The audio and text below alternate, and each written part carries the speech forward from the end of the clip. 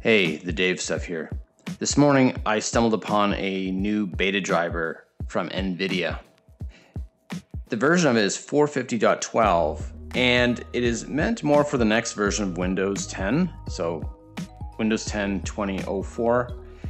But this driver opens up a couple of interesting things. First, if you right click and then go to display settings, you're going to go down to graphics settings and look at these two options here. Hardware accelerated GPU scheduling reduces latency and improves performance. You need to restart. Variable refresh rate. When possible, get a higher frame, frame rate. And reduce screen tearing in games that don't support variable refresh rate by default. This is interesting. Now this feature, the graphics performance preference has been here for a little while, but these two options are new. So I'm going to turn them on and I'm going to experiment. However, for you to be able to download the driver, you can find this on the NVIDIA GeForce forum. To get to it, just go to Google or your web browser. I found it in Google. And I typed in NVIDIA 450.12 and you can click on the first link to the GeForce forums, and it takes you to the site, and there's a external link. So when you click on that link, the first thing is is that it's 487 megs. It is not in the normal NVIDIA extraction or exe file format. Is using a format called 7Z or 7-zip. You need to ensure you have 7-zip downloaded and installed. You can't use the Windows file extractor or unzip program with it. It will just not work.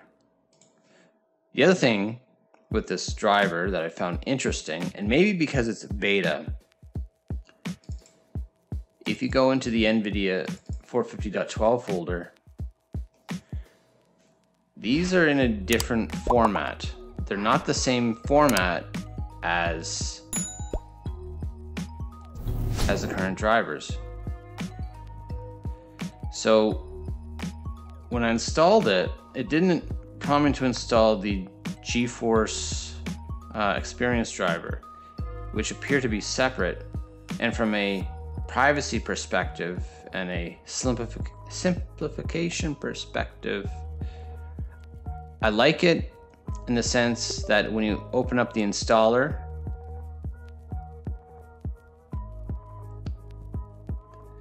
and you agree in custom, you have four options. Now, I don't have a 4K monitor.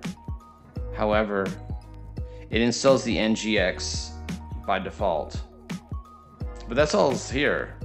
So I like it personally. However, this also means that you're not going to be able to use NV Slimmer or uh, the N, uh, NVIDIA Clean Install or whatever the name of the program is. It just won't work properly. It will not detect that it's a, an NVIDIA package. So you'll have to look at uh, cleaning out the privacy settings, if any, uh, through a different method, which I haven't discovered yet. You could use the existing tools that are out there that you may be able to um, find to remove telemetry, but this could also mean that there there may be other settings now, since the driver appears to be different compared to the prior versions of NVIDIA. One thing to note as well when you install this driver, it actually told me to restart, which is doesn't normally happen.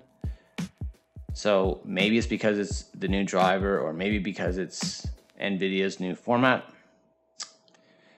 The other thing is, is that if you've tweaked um, with your uh, MSI utility, if you've got that installed and you've put it on MSI mode, you're going to have to set that back up. And you're also going to have to set up your affinity profile if you've set that up before, and you're gonna have to set it up again. However, one thing that I did note is if I go into LatencyMon or latency monitor, so I'll just run that right now. And performance wise, it's actually lighter and better compared to before. So that's a good sign if they've done some optimizations with system utilization. Anyway, I hope this has helped you. If you like this video, give me a like. If you want to see more content like this, hit the subscribe button. Also, stay tuned for more videos. Um, let me know if there's some types of videos that you'd like to see, uh, any recommendations you want to look at that is not really posted anywhere. I'd like to help you with that. Anyway, with that being said, have a good one and take care.